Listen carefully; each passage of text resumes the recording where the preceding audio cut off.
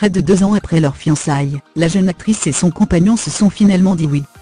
D'après le magazine People, Sasa Peters et son petit ami de longue date sont chez Afé, se sont mariés ce dimanche 27 mai 2017.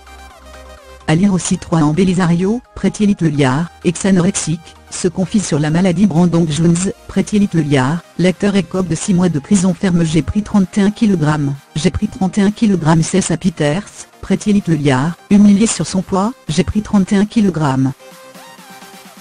La star de la série Pretty Little Liars et son mari ont choisi de s'unir en Irlande, au château Leslie, près de la ville de Glasgow.